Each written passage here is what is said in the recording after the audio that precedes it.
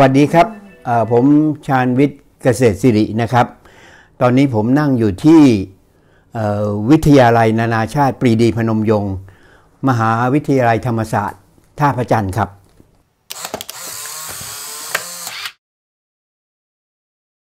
พูดอย่างย่อ ๆ ว่าปรากฏการณ์ของคณะราษฎร 2475 นั้นเป็น ปรากฏการณ์ทางประวัติศาสตร์การเมืองที่สำคัญ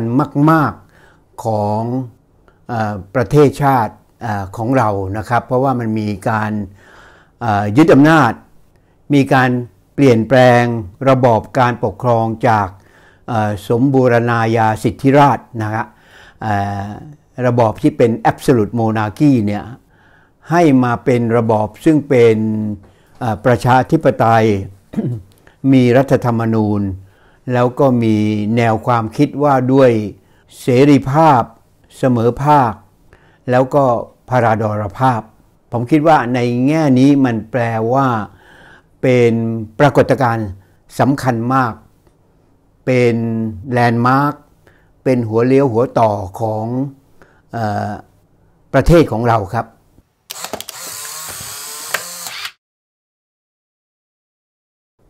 ในแง่บริบททางประวัติศาสตร์เนี่ยก็แปลว่า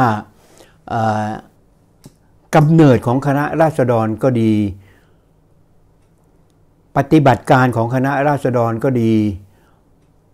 การดำรงอยู่ของคณะราษฎร ในช่วงระยะเวลาประมาณเศษหนึ่งส่วนสี่ของศตวรรษเนี่ยนะครับ ถือได้ว่าเป็นปรากฏการณ์สำคัญมาก ๆนะครับ คือในด้านหนึ่งเนี่ยครับการปรากฏตัวของคณะราษฎรเนี่ยมันไม่ได้เกิดขึ้นมาอย่างไม่มีปีไม่มีคลุยนะครับ มันมีภูมิหลังทางประวัติศาสตร์ คือปัจจุบันเนี่ยเรามักจะพูดถึงเรื่อง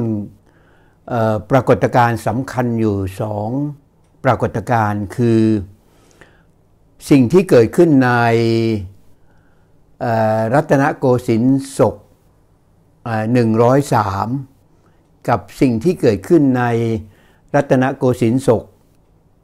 130 คือพูดง่ายๆว่าปีรศ103เนี่ยนะครับ ก็ตกราวๆตอนกลางของรัชสมัยของรัชกาลที่ 5 มันมีปรากฏการณ์อันหนึ่งก็คือ มีกลุ่มเจ้านายระดับสูงทีเดียวนะครับจำนวนหนึ่งนะสักประมาณ 10 10 กว่าคนเนี่ยทำคำกราบบังคมทูลต่อ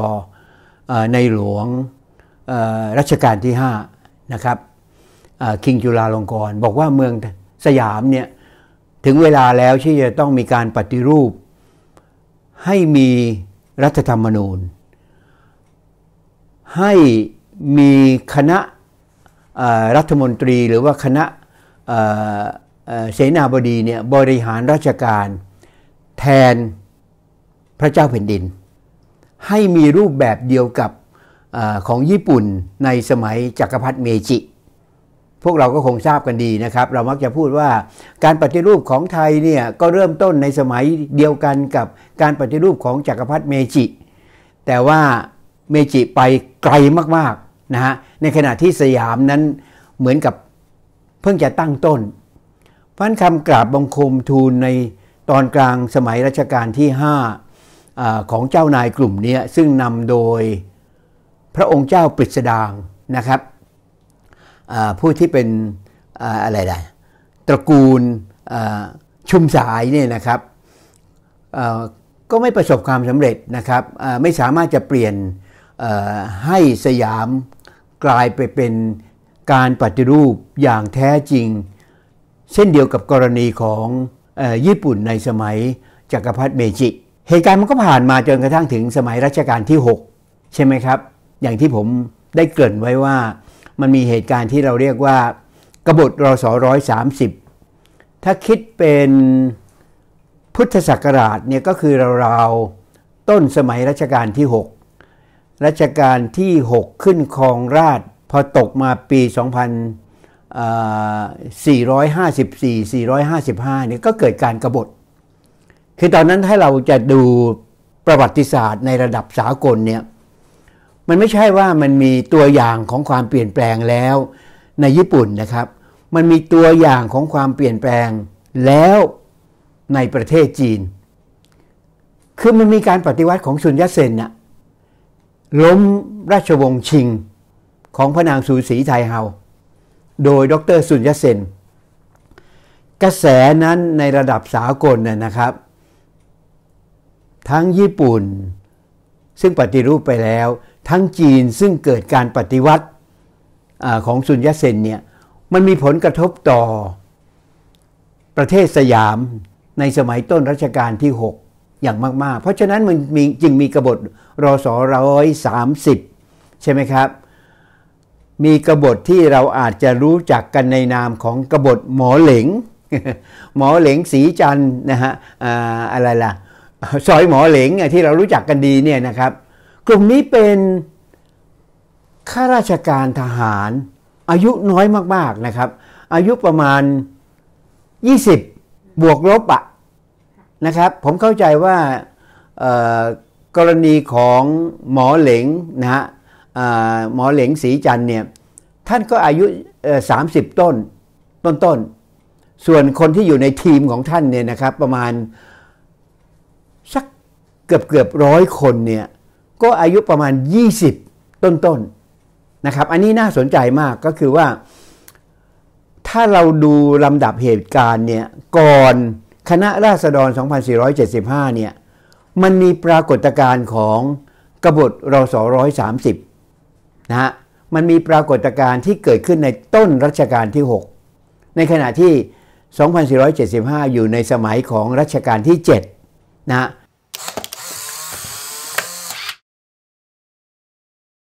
ถ้าในแง่ประวัติศาสตร์อย่างที่ผมผมมองเนี่ย ผมมองกลับไปปลายรัชกาลที่ 4 ด้วยซ้ำ คนจำนวนมากมักจะไม่ค่อย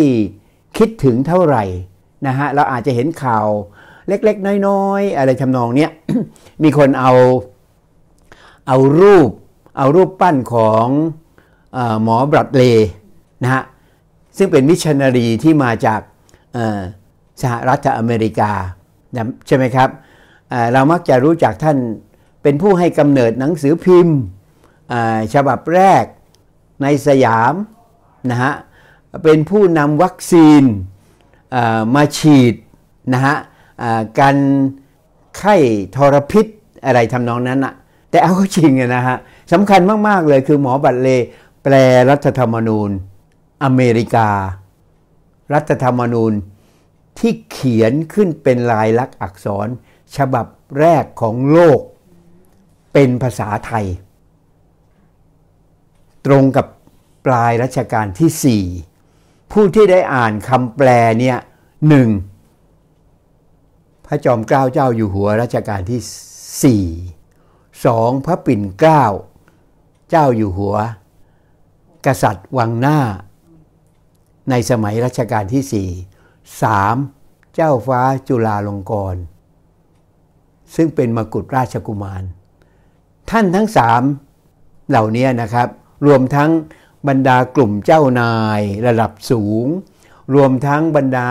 ขุนนางระดับสูง ไม่ว่าจะเป็นตระกูลบุญนาค ไม่ว่าจะเป็นตระกูลอมาตยกุลอะไรทำนองนี้นะ ต่างก็ได้อ่านคำแปล ซึ่งลงในหนังสือพิมพ์ของหมอบรัดเลย์ คือบางกอกรีคอร์เดอร์นะครับ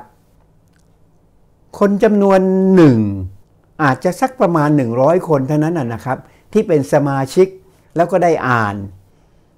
แต่ก็ไม่ได้ให้ความสนใจเท่าที่ควร เพราะฉะนั้นมันแปลว่า ในแง่ของผมในในแง่ของผมมองด้วยบริบท ภูมิหลัง แบ็กกราวด์ทางประวัติศาสตร์เนี่ยมันมีอะไรนำมาแล้ว ก่อนคณะราษฎร 2475 มันไม่ใช่ เกิดขึ้นมา เพราะนั้นถ้าในทัศนะส่วนตัวของผมเนี่ยถามว่าคณะราษฎร 2475 ใจร้อน ใช่ไหม ชิงสุกก่อนหามใช่ไหม ผมบอกไม่ใช่อะ ผมมองกลับกันนะ คือประวัติศาสตร์เนี่ยมันมีสองด้าน มันมีด้านหัวด้านก้อย ผมมองกลับกันว่า ถ้ามองอีกด้านหนึ่งเนี่ย มองทั้งหัวมองทั้งก้อยอะ แปลว่าคณะเจ้าใจเย็น ใจเย็นปรับตัวไม่ทันนะครับ เกิดกบฏรอสอร้อยสามสิบก็แล้ว เกิดการกราบบังคมทูลรอสอร้อยสามของกลุ่มพระองค์เจ้าปฤษฎางค์ ชุมสายก็แล้ว เกิดการแปลรัฐธรรมนูญของออหมอบรัดเลย์นะฮะฉบับ รัฐธรรมนูญอเมริกันก็แล้ว กลุ่มที่เป็นกลุ่มคณะเจ้าเนี่ยก็ยังไม่ปรับตัว คือถาถามว่าใครใจร้อนใครใจเย็น มองอีกด้านคือใจเย็นเกินไป ปรับตัวไม่ทัน ดังนั้นเนี่ยจึงเกิดการยึดอำนาจเมื่อวันที่ 24 มิถุนายน 2475 ครับ อันนี้เป็นประเด็นที่ผมคิดว่า วิชาประวัติศาสตร์เนี่ย ที่เราเรียนกันมา เรารับรู้กันมา เราสอนกันมาเนี่ยเราไปมองด้านเดียว ความใจร้อนของคณะราษฎร การชิงสุขก่อนหามของคณะราษฎร ของคนแบบปอพิบูลสงคราม ของคนแบบปรีดีพนมยงค์ซึ่งผมว่ามองอีกด้านก็คือ ความใจเย็นการที่ กว่าถั่วจะสุกงาก็ไหมมองอย่างนี้ก็ได้นะครับ ไม่ได้มองว่าชิงสุกก่อนหาม ไม่ได้มองว่าใจร้อน อันนี้ต้องต้องดูนะไม่งั้นเราจะมองมองประวัติศาสตร์ การเมืองไทยเนี่ยมันบิดเบี้ยว อันนี้เป็นเป็นทัศนะของผมนะครับ ในแง่ของวิชาประวัติศาสตร์ครับ